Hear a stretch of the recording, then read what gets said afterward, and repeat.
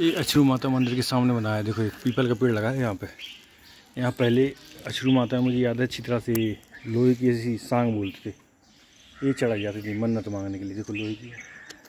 ऐसी चढ़ाई जाती थी, जिसको जैसे चढ़ाना, छोटी, बड़ी, जिसको जैसे चढ़ाना तो ये अब इन लोगों काफ़ी कम कर दी। जितने मंदिर बनाए मंदिर में तो क्या है शायद ज़्यादातर लोहा ही लगा दिया गया। ये देवी को चढ़ाई जाती थी। ऊपर ही नींबू का नींबू लगाया जाता था इस पर देखो।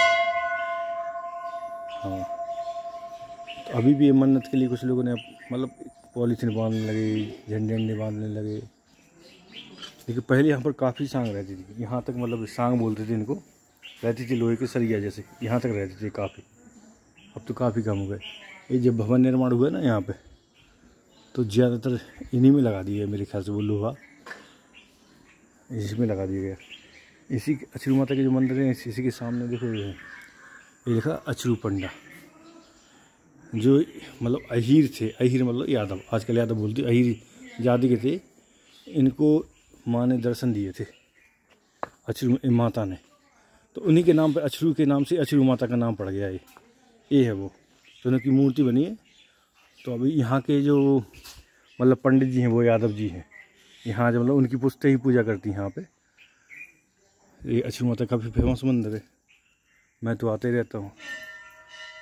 इनका आशीर्वाद, सबका आशीर्वाद लेता रहता हूँ। आना चाहिए यहाँ पे। पृथ्वीपुर के आसपास के लोग सारे लोग आते हैं यहाँ पे। काफ़ी विश्वास रखते हैं माता के ऊपर। ये, यहाँ पर एक कुंड है जल का कुंड। तो उसमें हमेशा बारह महीने पानी भरा रहता है। किसी भी किसी भी टाइम आएँगे ना, बारह महीने पानी। एचरू माता है माता। अभी नवदुर्गा आने वाली तो यहाँ काफ़ी भीड़ होगी। तो इसलिए ये बैरिकेड से लगा लगा देते हैं, देखो ये। अब तो काफ़ी चेंज हो गए, काफ़ी मंदिर बन गए पीछे। लेकिन जो पुरानी जो कुंड है, यहाँ पर महत्व कुंड का ही है। ये जो कुंड है, सामने दिख रहा है, सामने गेट दिख रहा है। ये सामने गेट दिख रहा है। इसमें एक कुंड है, उस कुंड का महत्व पहले काफ़ी छोटा सा था। बहुत ही छोटा सा मतलब कोई इस प्रकार का मंदिर था ये। ये देख रहे हो? इस प्रकार का छोटा सा मंदिर था।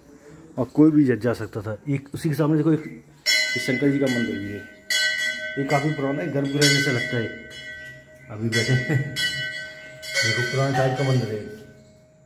बहुत पुराना। ये मैंने गेट आठ हैं, नवे के दिन काफ़ी भीड़ रहती है यहाँ पे। ये बड़ी दुर्गा, जो बड़ी बड़ी दुर्गा बोलते यहाँ पर पीछे नौ मूर्तियाँ जो देवी जी की होती नौ दिन के लिए, वो स्थापित कर देंगी पीछे। सारी जो देवी होती नौ दिन, नौ दुर्गा वो यहाँ पर स्थापित है, माता आ गई हैं। और यहाँ पर ये मंदिर छोटा सा था मेन मतलब जो कुंड है ना माता का, वही है। कहानी तो है नेट पर पढ़ सकते हैं उनको। मैंने गेट दिखाता हूँ, यहाँ पर बैठे रहते हैं लोग, कुछ मांगने आने के लिए बैठे रहते हैं, देखो।